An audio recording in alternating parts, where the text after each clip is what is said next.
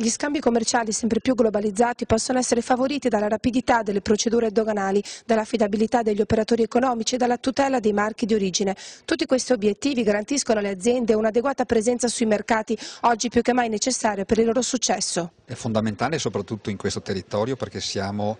eh, abbiamo un sistema industriale che è fortemente internazionalizzato, per cui noi eh, abbiamo avviato un rapporto già da qualche anno con l'Agenzia delle Dogane sia nazionale che regionale di grande collaborazione, prima di tutto nella lotta alla contraffazione e poi anche un protocollo di collaborazione per eh, così interpretare e capire meglio una normativa che è certamente complessa, quella eh, riguardante appunto le, eh, le dogane. La lunga crisi recessiva che è in atto ormai da circa due anni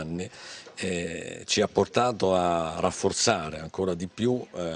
il, il, rapporto, il, le modalità del rapporto che abbiamo stabilito da anni con l'Unindustria di Treviso come con le associazioni sul territorio. Ma questa con Treviso è stata un po' eh, la prima e la più diciamo, eh, con slancio diciamo, che abbiamo fatto. Un'industria Treviso e l'Agenzia delle Dogane allora hanno siglato accordi per semplificare gli scambi commerciali del Made in, in grado di garantire ai marchi d'origine la possibilità di viaggiare con sicurezza. E qui la posizione di Confindustria è finalizzata certamente a valorizzare e a tutelare le produzioni italiane e quindi una corretta posizione del marchio Made in, allo stesso tempo anche richiamando l'attenzione del legislatore e delle istituzioni sulla necessità anche di eh, valorizzare, di difendere quelle aziende che per scelta o per necessità, stante la dinamica competitiva del proprio settore, sono state costrette, sono state chiamate a darsi un'organizzazione produttiva anche di carattere internazionale, però portando in ambito internazionale dei saperi, delle conoscenze